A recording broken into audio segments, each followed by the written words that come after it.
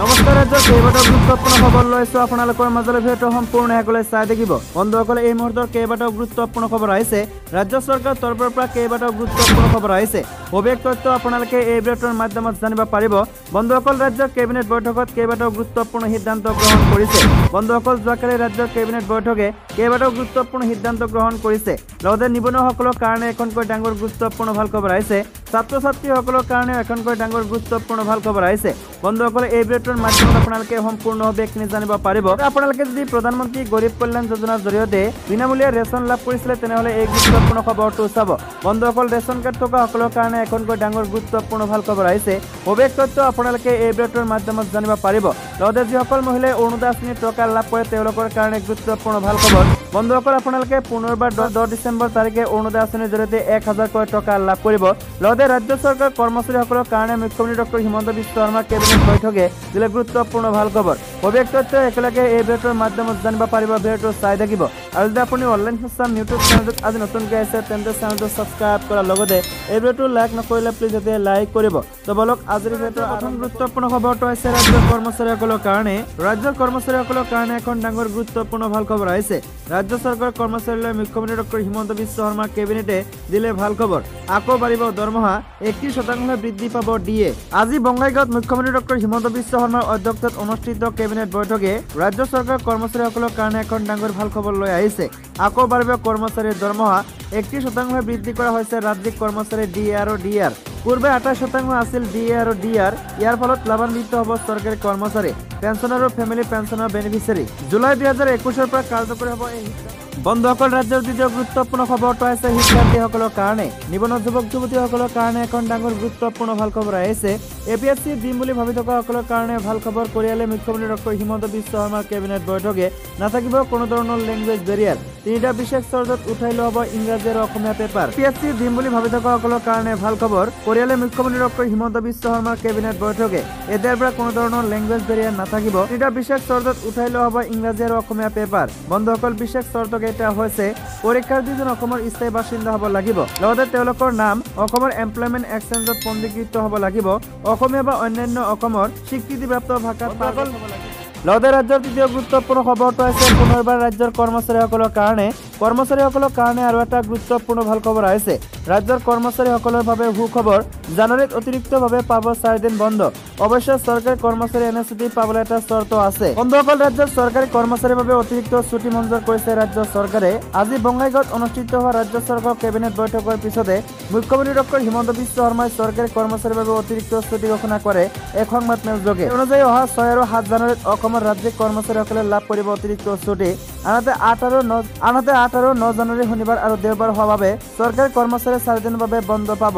বঙাইগাঁও বঙাইগাঁৱত অনুষ্ঠিত কেবিনেট বৈঠকৰ পাছতে এই কথা সদৰি কৰিলে মুখ্যমন্ত্ৰী ডক্টৰ হিমন্ত বিশ্ব শৰ্মাই নিজে। অৱশ্যে চৰকাৰী কৰ্মচাৰী এনে ছুটি পাবলৈ এটা চৰ্ত আছে। এই চৰ্তৰ লগতে জড়িত আছে জ্যেষ্ঠ নাগৰিকৰ প্ৰতি চৰকাৰৰ দায়িত্ব। ডক্টৰ শৰ্মাই জনোৱা মতে যিসকল কৰ্মচাৰী মাক দেউতাকসকল লগতে শহুৰেক শাহুৱেক আছে তেওঁলোকে এই ছুটি লাভ কৰিব। ছুটি কেৱল মাক দেউতাক তথা শহুৰেক শাহুৱেকৰ লগতে কটোৱাৰ বাবেহে। মাক দেউতাক তথা শহুৰেক শাহুৱেক নথকা বা তেওঁলোকৰ লগত সময় কটাব অনিচ্ছুক কৰ্মচাৰী এই ছুটি নাপাব। চতুৰ্থ বৰ্গৰ কৰ্মচাৰীৰ পৰা মন্ত্ৰী এ পি এছ এছিয়াছ বিষয়াসকলৰ এই ৰাজ্যৰ চাৰি নম্বৰ গুৰুত্বপূৰ্ণ খবৰটো হৈছে ৰাজধানীৰ বাহিৰত কিয় কেবিনেট বৈঠক? মুখ্যমন্ত্ৰী ডক্টৰ হিমন্ত বিশ্ব শৰ্মাই দিলে ব্যাখ্যা। ৰাজধানী দিছপুৰৰ বাহিৰত কিয় কেবিনেট বৈঠক? ডক্টৰ হিমন্ত বিশ্ব শৰ্মা চৰকাৰক বিৰোধীৰ সমালোচনা এ পি চি চিৰ কাৰ্যকৰী সভাপতি ৰাণা গোস্বামীৰ। কংগ্ৰেছৰ কাৰ্যকৰী সভাপতি ৰাণা গোস্বামীৰ এই সমালোচনা সমান্তৰালকৈ বিৰোধী এ ইউ ডি এফেও সমালোচনা কৰে ডক্টৰ হিমন্ত বিশ্ব শৰ্মা চৰকাৰক। ইউ ডি এফৰ বিধায়ক কৰিমুদ্দিন বৰভূঞাই কৈছিল এনেদৰে লাগজাৰী চৰকাৰ এইখন খাই ভাল পায়। মুখ্যমন্ত্ৰীৰ বাহিৰে বেলেগ মন্ত্ৰীৰ কামেই নাই। কাম নোহোৱা মন্ত্ৰী অৱশ্যে পিকনিক খোৱাবলৈ এনেদৰে গুৱাহাটীৰ বাহিৰত মুখ্যমন্ত্ৰীয়ে কেবিনেট পাতিছে। বিৰোধী কংগ্ৰেছ আৰু ইউডিএফৰ এনে সমালোচনাৰ উত্তৰ দিলে মুখ্যমন্ত্ৰীয়ে।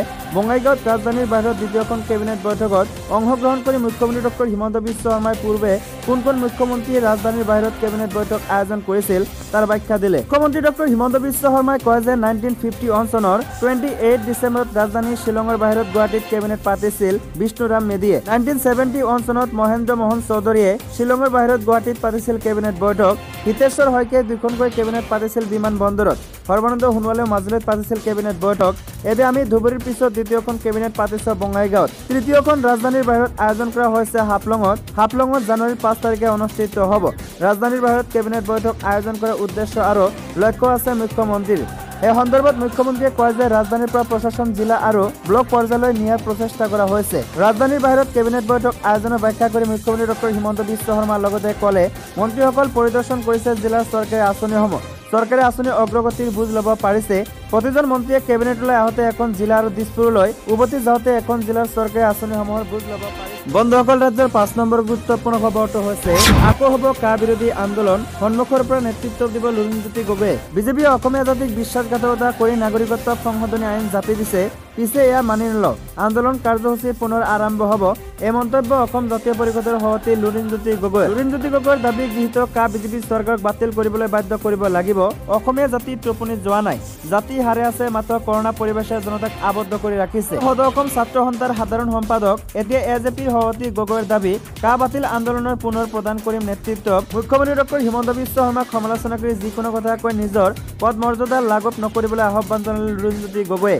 বিপৰীতে ভাৰতবৰ্ষৰ ইতিহাসত আন্দোলন নকৰাকৈ একো পোৱা নাই বুলিও মন্তব্য কৰে মন্তব্য কৰে এ জে পিৰ সভাপতিগৰাকীয়ে। প্ৰশ্ন হৈছে লুৰিণজ্যোতি গগৈয়ে কোৱাৰ দৰে কোনো ৰকমত আৰম্ভ হ'ব নেকি? বন্ধুসকল ৰাজ্যৰ ছয় নম্বৰ গুৰুত্বপূৰ্ণ খবৰটো হৈছে কেন্দ্ৰীয় চৰকাৰ তৰফৰ পৰা। দৰিদ্ৰ লোকসকলৰ কাৰণে কেন্দ্ৰীয় চৰকাৰ তৰফৰ পৰা এখন ডাঙৰ গুৰুত্বপূৰ্ণ খবৰ আহিছে।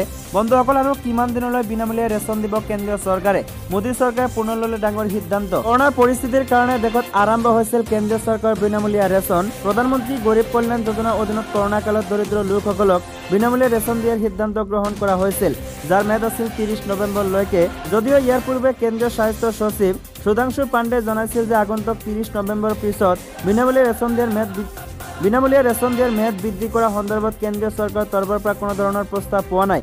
লগে লগে অনুমান কৰা হয় যে ত্ৰিশ নৱেম্বৰৰ পিছত বিনামূলীয়া ৰেচন আৰু দিয়া নহ'ব। কিন্তু এতিয়া গৰীব কল্যাণ যোজনা সন্দৰ্ভত গুৰুত্বপূৰ্ণ সিদ্ধান্ত গ্ৰহণ কৰিছে কেন্দ্ৰীয় চৰকাৰে। প্ৰধানমন্ত্ৰী গৰীব কল্যাণ যোজনাৰ বিনামূলীয়া ৰেচনৰ ম্যাদ অহা বছৰ মাৰ্চলৈকে বৰোৱাৰ সিদ্ধান্তত মঞ্জুৰি দিলে ৰাজ্যৰ সাত নম্বৰ গুৰুত্বপূৰ্ণ খবৰটো হৈছে দেশ চলাবৰ বাবে আমাৰ হাতত ধন নাই। জনসভাত অসহায় পাকিস্তানী প্ৰধানমন্ত্ৰী স্বীকাৰোক্তি। পাকিস্তানী প্ৰধানমন্ত্ৰী ইমৰান খানে এখন জনসভাত সম্বোধন কৰি দেশ চলোৱাৰ বাবে তেওঁৰ হাতত ধন নাই বুলি মন্তব্য কৰে। আমাৰ ডাঙৰ সমস্যা হৈছে আমাৰ হাতত দেশ চলোৱাৰ বাবে টকা নাই। যাৰ বাবে এতিয়া আমি অন্যৰ পৰা ঋণ ল'বলগীয়া হৈছে ইমৰান খানে জনসভাত এইদৰে কয়। ইমৰান খানে জনসভাত দেশৰ বৰ্ধিত বিদেশী ঋণ আৰু দেশৰ কৰৰ পৰা অহা ৰাজহ হ্ৰাস হোৱাক ভৱিষ্যতৰ বাবে এক ডাঙৰ সমস্যা হিচাপে অভিহিত কৰে। প্ৰধানমন্ত্ৰী খানে বিগত চাৰি মাহত পাকিস্তানে মুঠ থ্ৰী পইণ্ট এইট বিলিয়ন বিদেশী ঋণৰ বোজা ল'বলগীয়া হৈছে বুলি সদৰি কৰে। উল্লেখযোগ্য যে পাকিস্তানত দেখা দিয়া আৰ্থিক সংকটৰ পৰা সাময়িকভাৱে দেশক উদ্ধাৰ কৰাৰ বাবে ইমৰান খানৰ চৰকাৰে ইউ এৰ পৰা ইউ এৰ পৰা ঋণ গ্ৰহণ কৰিছিল। পাকিস্তানে চীন আৰু অন্য দেশৰ পৰাও ইতিমধ্যে বহু পৰিমাণৰ ঋণ। গ্ৰহণৰ গুৰুত্বপূৰ্ণ খবৰটো হৈছে ৰাজ্যৰ শিক্ষা ব্যৱস্থা সন্দৰ্ভত কি গুৰুত্বপূৰ্ণ সিদ্ধান্ত ৰাজ্যিক কেবিনেট বৈঠকত? বন্ধুসকল আজি বঙাইগাঁৱত অনুষ্ঠিত হোৱা ৰাজ্যিক কেবিনেটৰ বৈঠকত ৰাজ্যৰ শিক্ষা ব্যৱস্থাত আমূল ঘটোৱাৰ বাবে সিদ্ধান্ত গ্ৰহণ কৰা হয়। শিক্ষানীতিৰ আধাৰত ৰাজ্যৰ শিক্ষা ব্যৱস্থাত পৰিৱৰ্তন সাধন কৰা হ'ব বুলি কেবিনেটে বৈঠকৰ অন্তত মুখ্যমন্ত্ৰী ডক্টৰ হিমন্ত বিশ্ব শৰ্মাই নিজেই উল্লেখ কৰে। ৰাষ্ট্ৰীয় শিক্ষানীতিৰ আধাৰত প্ৰস্তুত কৰিবলগীয়া ৰাজ্যিক শিক্ষা ব্যৱস্থাত ৰাজ্যৰ শিক্ষাৰ্থীসকলে এতিয়া হাইস্কুললৈ মুঠ পোন্ধৰ বছৰ অধ্যয়ন কৰিব লাগিব। Five plus three plus three plus ফ'ৰৰ আধাৰত এদিয়া শ্ৰেণীসমূহ বিভক্ত কৰা হ'ব। প্ৰথম পাঁচটা বছৰ ছাত্ৰ ছাত্ৰীসকলৰ বাবে বুনিয়াদী শিক্ষা গ্ৰহণৰ সময় হ'ব। অন দশম একাদশ আৰু দ্বাদশ শ্ৰেণীক সংলগ্ন কৰি এতিয়া ছিনিয়ৰ ছেকেণ্ডাৰী পৰ্যায় হ'ব।